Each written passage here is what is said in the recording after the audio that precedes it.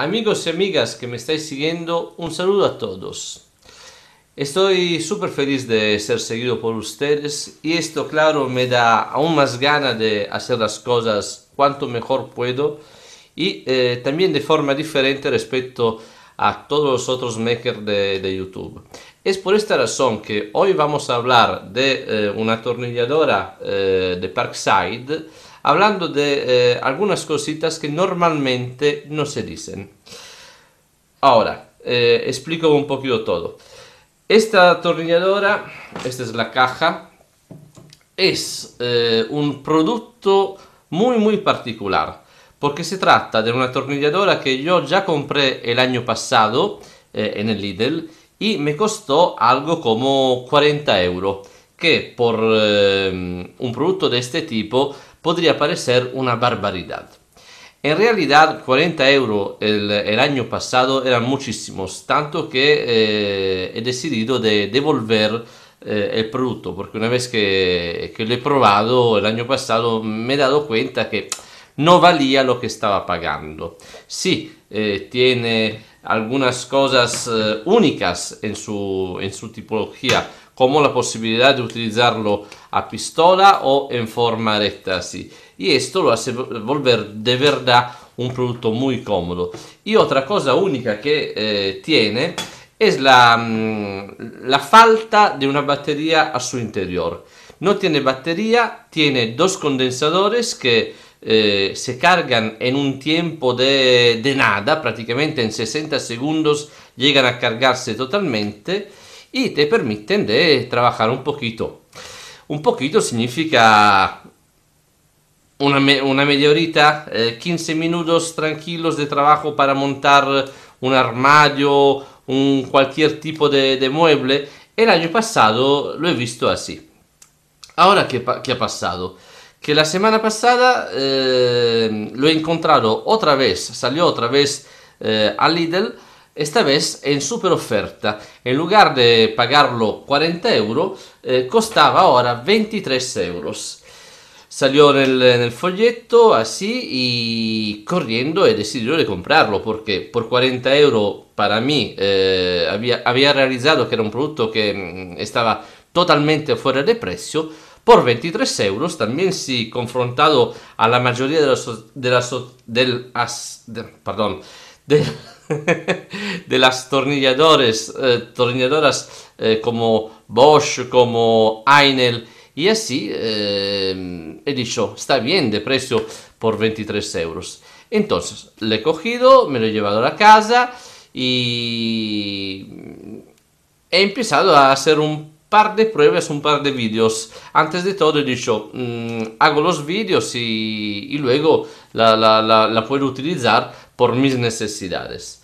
Ahora, justo haciendo uno de estos vídeos, eh, me he dado cuenta que eh, tiene un problema, un problema grandísimo que no había detectado ni eh, hace un año cuando lo compré, ni al momento de la actual compra.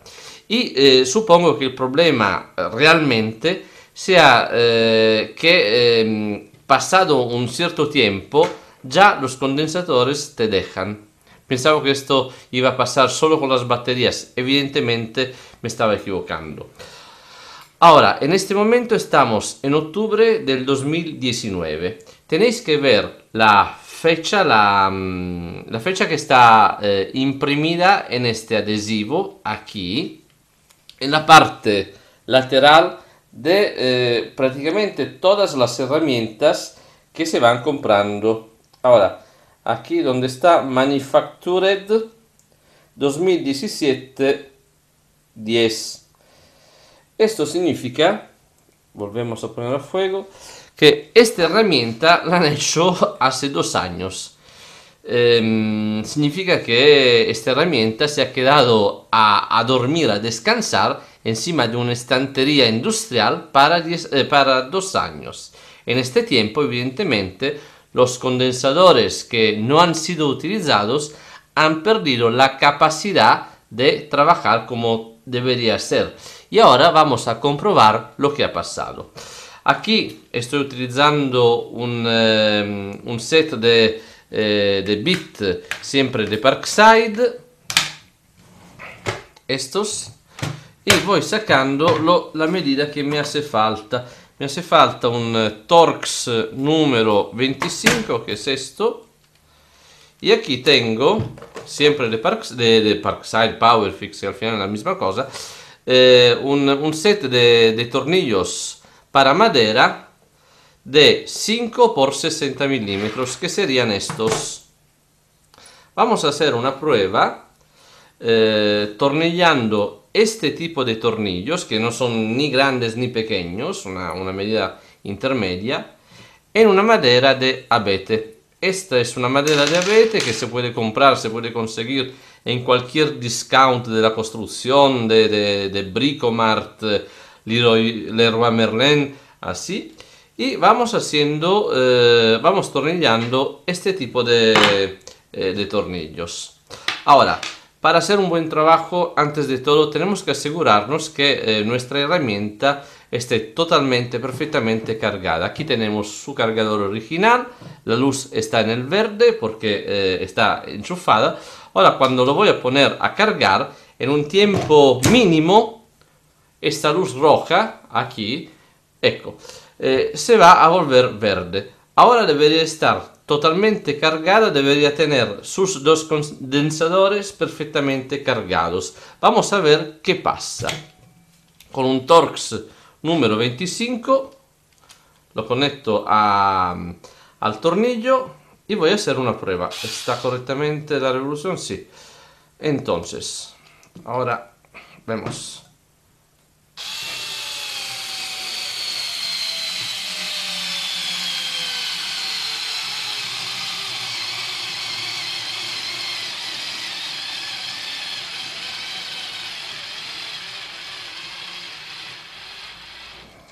Bien, el primer tornillo lo ha clavado prácticamente eh, fatigando un poquito, al final se siente que va fatigando un poco. Seguimos con un segundo.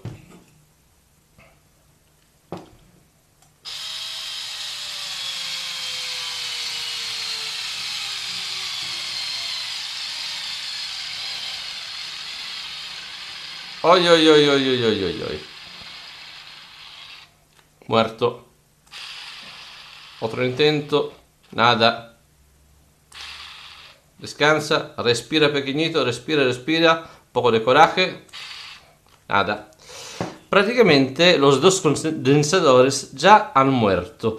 Y esto lo podemos ver también si aprieto el gatillo en la luz de, de servicio. La luz aquí no se prende más. ¿Ok? Eh, gira, pero la luz no, no, da tanta tensión, tanta, tanta potencia para prender la luz. Vamos a cargarlo otra vez, siempre luz roja. Y ahora en un tiempo bastante breve, porque insomma eh, debería ser menos de 60 segundos o por ahí, debería volver otra vez eh, una luz verde.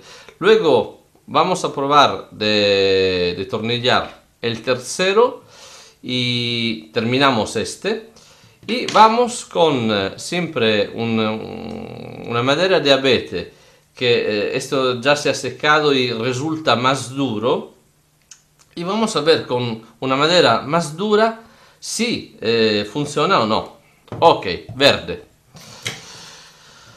Terminamos esto. Ahora, cuando está cargado va bien, pero después de un poco... Y le vamos a poner también este otro.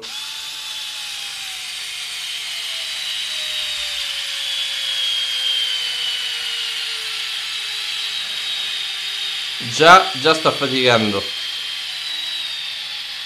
Ok, uno y medio sin grandes problemas.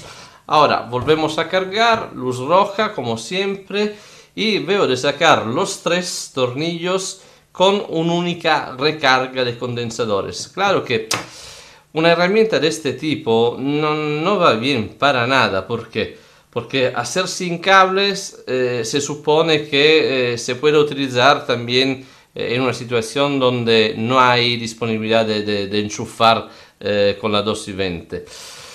Así eh, se trata de poner un tornillo y cargar, poner un tornillo y cargar. Esta es una cosa improponible eh, porque si uno está dentro de un mueble que está atornillando de, de, de, en una posición eh, de total incomodidad, así eh, hacer todo este trabajo no se puede. Hago el verde, invierto el sentido de rotación y voy quitando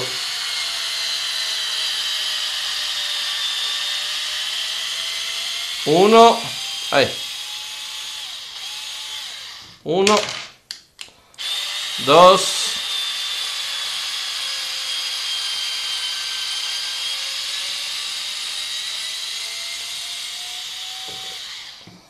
ok questo lo termino a mano. I 3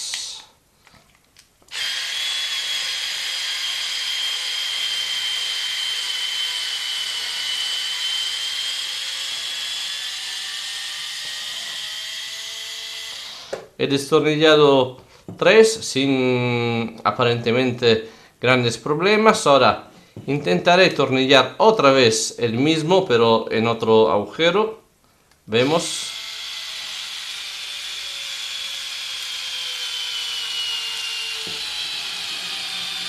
Ya, ya no da más.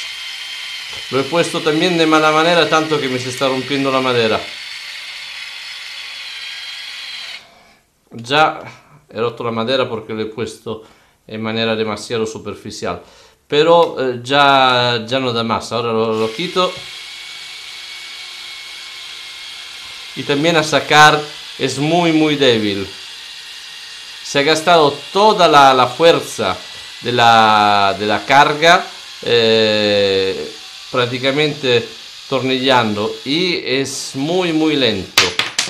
Ok, también la luz aquí ha muerto cuando normalmente la luz, ahora intentamos así, no, aún nada no es que me se ha quemado la luz, eh, y ahora vamos haciendo una prueba aquí, o en este que es lo mismo, ¿ok? Esto simplemente está quemado y pintado de transparente. Luego debería ser la misma madera, solo que esta es una madera que eh, ya lo he puesto eh, al exterior, se ha secado bastante, en práctica resulta más dura. Esta es una madera más fresca que eh, si, si voy presionando con una uña me se queda la marca, ¿se ve? Aquí presiono otra vez. Esta se, se marca muy fácil porque es una madera de muy baja densidad. Ok, vamos a ver la luz. ¿Listo? Así es una luz normal, vivaz, que como debería ser. Pero, ok. Vamos intentando con esta otra madera.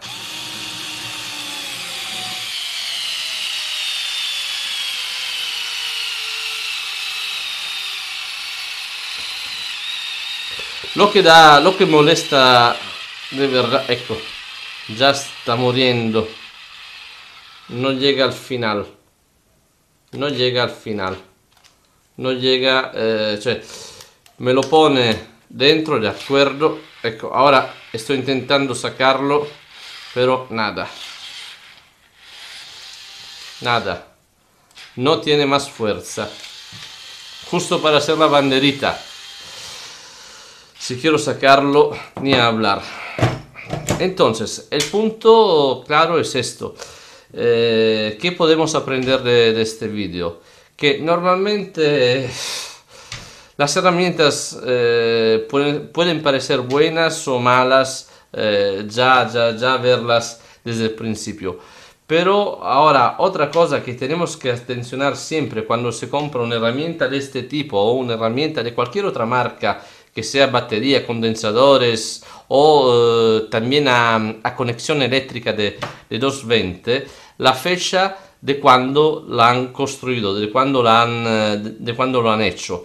Esta fecha, como ya he dicho, está pegada, está escrita en el adhesivo pegado eh, en la misma herramienta. Tenéis que hacer siempre caso eh, a, a, esta fecha, porque si no, arriesgamos de, de tener una mala sorpresa, que la, la herramienta, sí, estéticamente es nueva, estéticamente puede parecer perfecta, pero luego lo que le da realmente la, la fuerza, la potencia, como la batería o los condensadores, no, no tienen más fuerza para, eh, para, para hacer el trabajo que se debe hacer. Si eh, al contrario vamos hablando de mm, herramientas de 220 que funcionan con la 220, la, la electricidad de, de casa para, para, entendernos, ahí decimos que esta fecha es importante sí y no. Es importante porque desde ahí a poco posiblemente paran de hacer recambios, escobillas y motores para eh, herramientas eléctricas pero ya cuando se habla de 220 el problema de las baterías no está o de los condensadores y eh, las herramientas con cable están menos afectadas de este problema. Tenéis que ver, tenéis que considerar cada compra que se hace para la realidad de, que, que, puede pasar. Ok chicos, ahora con esto es todo. Eh, el, el pensiero, el augurio es que eh, ustedes pueden encontrar esta tipología de vídeos útil para elegir lo que es mejor para ustedes y ya está. Yo he tenido un poco de mala suerte, ahora me tocará volver a la tienda y eh, si es posible que me lo cambien por otro, por otro que tiene una fecha de, de construcción eh, actual y no vieja de dos años porque si no, no, no hemos hecho nada. La realidad es que una herramienta de este tipo, evidentemente, más de esto no va a durar. Luego nos quedamos tirados. ¿Ok? Con esto es todo. Un saludo y a la próxima. Chao.